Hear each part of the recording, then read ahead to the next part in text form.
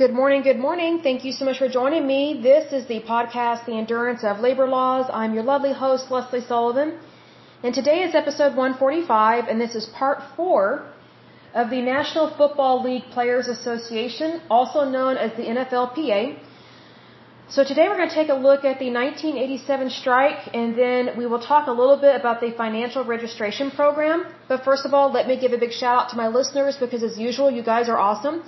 So a big shout out to California, Oklahoma, Texas, New York, Virginia, Nevada, Oregon, Washington, North Carolina, and Minnesota. In terms of countries, the United States and the Russian Federation.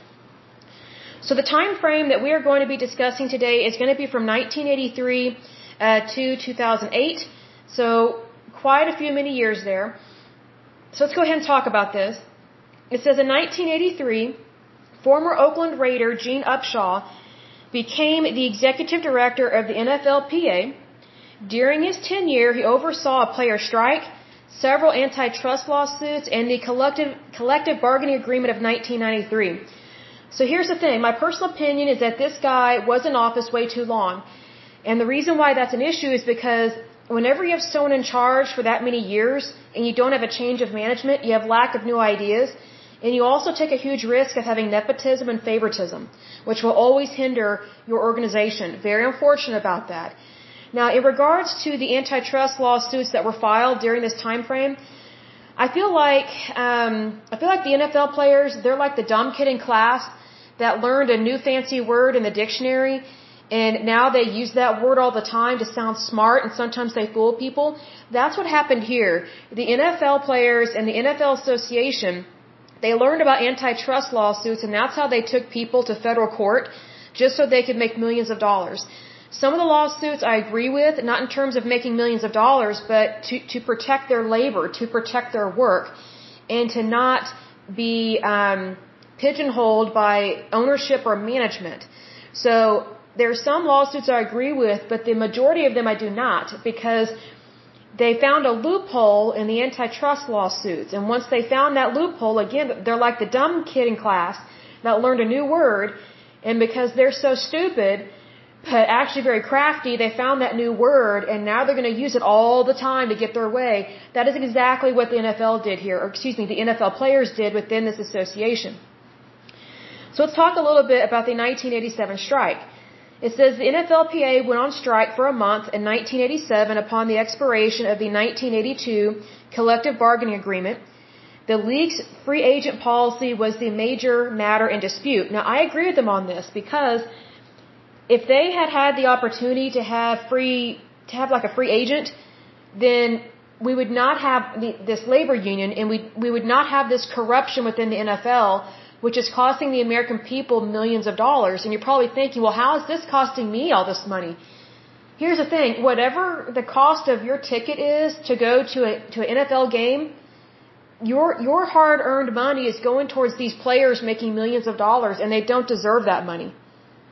Like they're not the cream of the crop in society. They're they're just throwing a inflated ball around and getting paid millions of dollars to do so. They're not a doctor, they're not a lawyer, they're not an engineer. It's ridiculous. And most of them have very stupid college degrees. A lot of them have a business degree. I remember when I was in college, um, it was just known that if you were too dumb or lazy and uh, to actually go to school, but you needed to be in college in order to get a degree or play a sport, you, you went to the business school.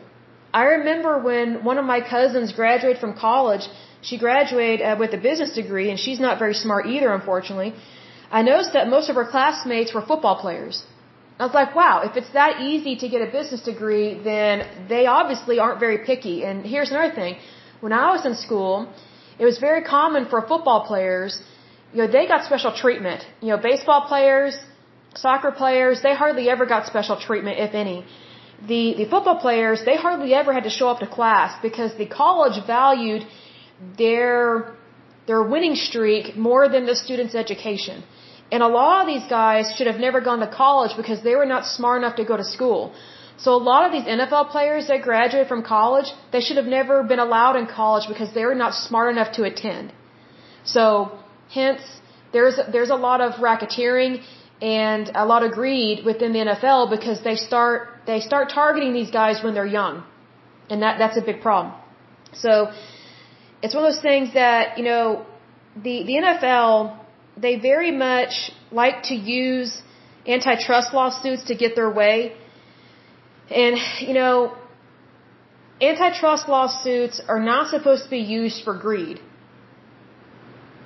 you know, the NFL players, they're just using the antitrust lawsuits because they're just like the dumb kid in class that found a fancy word and they're going to use it all the time to get their way. And in this case, or in this instance, whenever they're trying to cry wolf all the time, they use the antitrust lawsuits at a federal level, because that's where you take it, is at a federal level, to just get more money. Now, sometimes I agree with them, sometimes I do not. And you're probably wondering, well, if it's not right what they're doing, how is this how is this allowed? Well, what you need to remember about judges is that every single judge in the United States, I can't speak for other countries because I don't know about other countries' judicial system, but our system here, mind you, it's not corrupt like other countries. We actually have a really good country, but um, every single judge in the United States at one point in time was a lawyer. So do you do you really have the most positive positive opinion of lawyers? Are they known for being ethical, legal, moral? um, Christian? No, they are not. So here's the thing. Whenever your state has an election, more than likely it's going to be about who to elect to the different judgeships you know, within your state. So you need to get out and vote for the judge that you think is best. So be aware of that. So, you know, the judges that are appointed are those that are at, I think it's at the appellate, appellate courts, which are appointed by the President of the United States.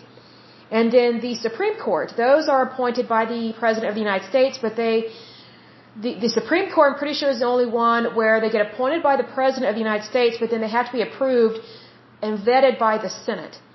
So just recognize that every single one of these judges was a lawyer at one point in time. Do you really trust lawyers? So that's why sometimes judges do not make good decisions. It's because their background is being a lawyer. So, which means they speak out of both sides of their face. So just be aware of that. In regards to the 1987 strike within the NFLPA uh, or the NFL, it says the NFLPA went on strike for a month in 1987 upon the expiration of their collective bargaining agreement of 1982. The league's free agent policy was the major matter in dispute, and I agree with them on that because they have every right to have a free agent. Every right. The league, however, or this time, however, the strike only canceled one week of the season. For three weeks, the NFL uh, staged games, meaning they weren't real, with hastily assembled replacement teams made up principally of players cut during training camp and players left out of work from the closure of the United States Football League two years prior. They were joined by a few veterans who crossed the picket lines, including New York Jets defensive end Mark uh, Gastineau, I believe that's French, Dallas Cowboys defensive tackle Randy White, San Francisco 49ers quarterback Joe Montana, and New England Patriots quarterback Doug Flutie and Seattle Seahawks wide receiver Steve Largent. Given the willingness of the players to cross the picket lines and networks to broadcast the replacement games, despite a 20% drop in television viewership and even steeper drops in attendance, the union failed to achieve their demands. I'm surprised by this because they cried wolf quite a bit. The strike ended on October 15, 1987 without a collective bargaining agreement in place the union filed a new antitrust lawsuit. Again, they're using a fancy word to get their way. On December 30th, asking federal judge David Doty, who again is appointed, uh, to overturn the league's restricting free agent policies. On November 1st, 1989, the Court of Appeals rejected the suit on the grounds that the owners were covered by the labor exemption from antitrust law. I'm kind of surprised by that. The union's next tactic, so they're getting clever and crafty here, in November 1989 was to disclaim any interest in representing NFL players in collective bargaining and to reform itself as a professional organization. So they're getting crafty here and not for not for our good, definitely for theirs because they're practicing greed.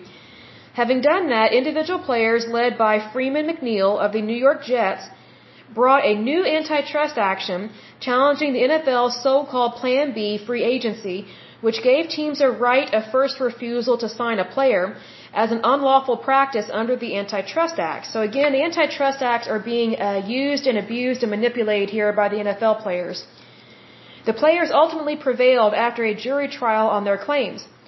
That verdict, the pendency, or sorry, the pendency of other antitrust cases and the threat of a class action lawsuit filed by Reggie White, then with the Philadelphia Eagles on behalf of all NFL players, caused the parties to settle the antitrust cases and to agree on a formula that permitted free agency. In return, the owners received a salary cap, albeit one tied to a formula based on the player's share of total league revenue. So the players, they want a piece of that pie, even though it's not their pie. So the players, they, they want a salary, but they also want commission. So they're like a used car salesman. So next time you go shopping for a car, just pretend that person is an NFL player because that's basically what NFL players are doing. The agreement also established a salary floor, minimum payrolls all teams were obliged to pay. So basically, this is no longer acting like a private sector company. They're almost acting like the Soviet Union, where a, a higher up entity controls everybody's wages, but yet they're trying to combine acting like they're in the public sector and the private sector because yes, they want that minimum salary requirement, but they also want commissions. So they want to have their cake and eat it too, which is not, it's not fair and it's not right. It's very, uh, very much greed and that is very much immoral. The settlement was presented to and approved by, guess who, Judge Doty, who had also heard the McNeil antitrust case in 1993. Now, my personal opinion is that if a judge has previously heard an antitrust case in regards to this, I don't think they should hear the same one or the next one in regards to things like this because I think you have a problem with, with nepotism and favoritism and it clouds their judgment. Once the agreement was approved, the NFLPA reinstituted, or sorry, reconstituted itself as a labor union, so they're getting crafty, and entered into a new collective bargaining agreement with the league.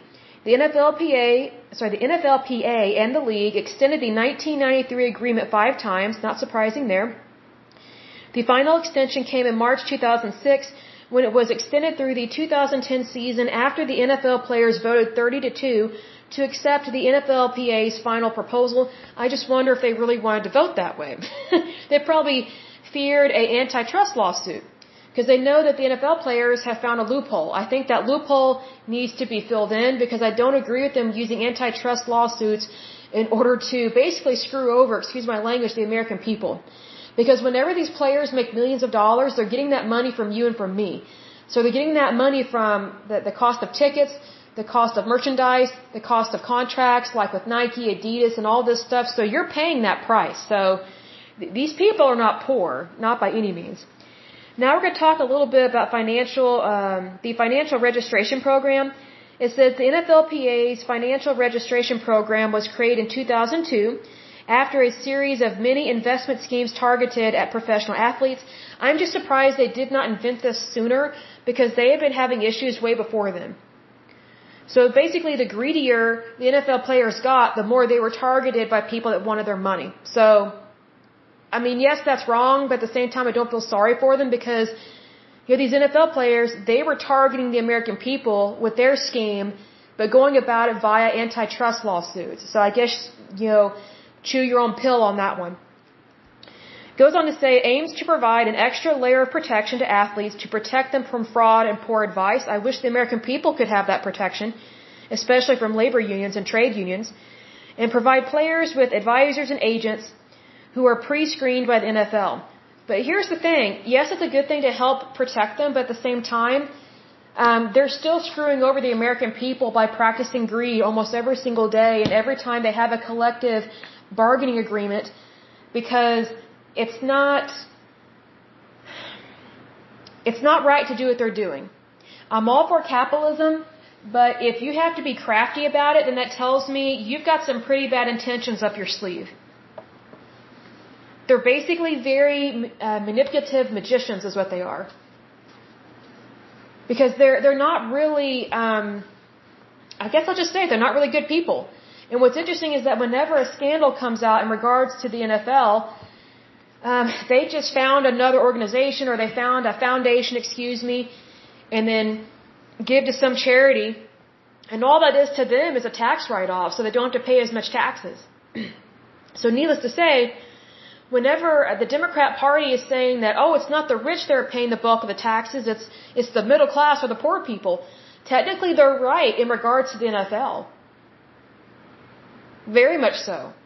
Because NFL players and those that do business with the, with the NFL, they find loopholes all the time to not pay taxes and to not be held responsible or to be held accountable for their financial behavior, which is usually not appropriate. But yet they always try and find a way to get the federal law on their side. And my question for them is, the federal law belongs to all people. It's not just NFL players. So I wish more consumers would wake up to the fact that they are totally getting gypped by the NFL, by the NFLPA, which is the association that protects the contracts of NFL players, and it's really corrupt. It's really corrupt because you have people that should have never been allowed in college unless they could actually go to college because they're smart enough, but it's rigged. You know, the, the, the sporting, I guess you could say the sporting world and the sporting industry is totally rigged. Like, it's not what you think it is. It's not this honorable entity.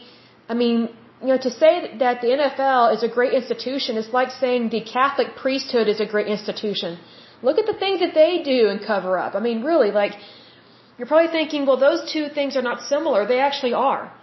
Because they're two very powerful entities that find ways to get out of being held accountable for the bad stuff that they do. That's what I have a big issue with. The NFL was smart because they don't even claim to be religious. So I guess if you want to get away with something, just don't even be religious don't claim to be religious and then you can kind of do whatever you want. So the NFL was smart, or not the NFL, the NFL players were smart and that they created their own association.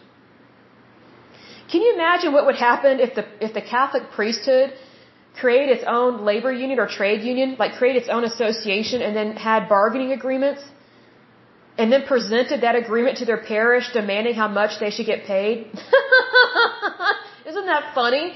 Like that's how stupid it is. Like it's just like wow. So basically the, these NFL players whenever they have these collective bargaining agreements, they're basically saying to the American people, pay me, pay me, pay me millions and millions of dollars so I can have houses and hoes, basically. That's what I call it, houses and hoes.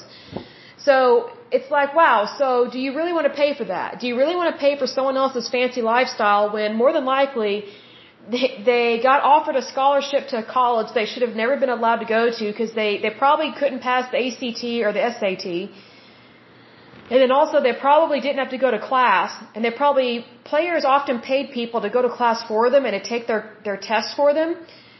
Then they get recruited by NFL teams that cover up for them.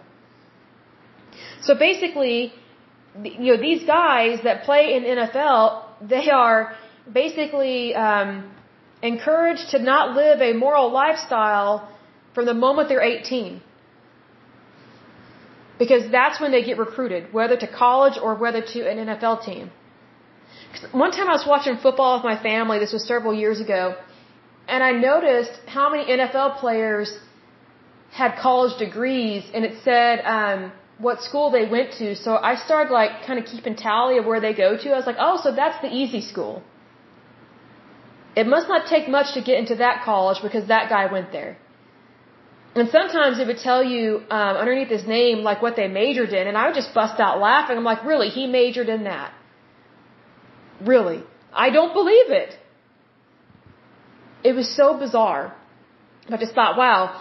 Uh, I guess, I guess some of these degrees that kids get these days must be easier to get than when I went to school because, you know, what's interesting is that when I went to school, how to describe this?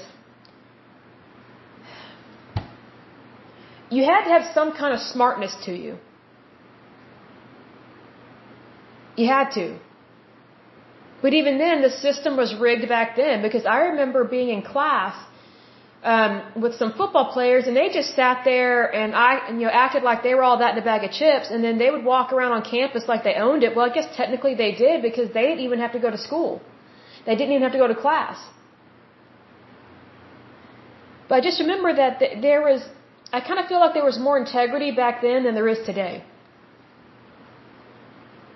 Because I feel like the more this association gets involved in the player's life, the, the less integrity there is. And I think that's very unfortunate because if anything, these men need to be taught how to be gentlemen. They need to be taught how to be good Christian men. And they're not being taught that. You know, they're basically being taught that money can buy anything. And I guess technically that's true if you're a crook. So just be aware of that because I don't think that's a very positive thing to, to train young men in at all. Because they're just going to be takers, they're not going to be givers. So just be aware of that. It's not always a pleasant thing to talk about, but you know, there there are so many scandals within the sporting arena and within these within these industries. And it's really unfortunate because if you're actually doing things the right way, then you will make really good money. But if you have to use our federal laws and manipulate basically your contract and manipulate, you know, a team or a company in the private sector, but use federal law to do so, then to me that shows that they have a lack of character. And they don't understand morals and values. And I think that's very unfortunate because these people are well overpaid or way overpaid. They're well paid and overpaid, I guess is what I'm trying to say. But guess what? As the American people, we tolerate it and we allow it. So what does that say about us and our society? We, we put more emphasis on NFL players than doing what's right.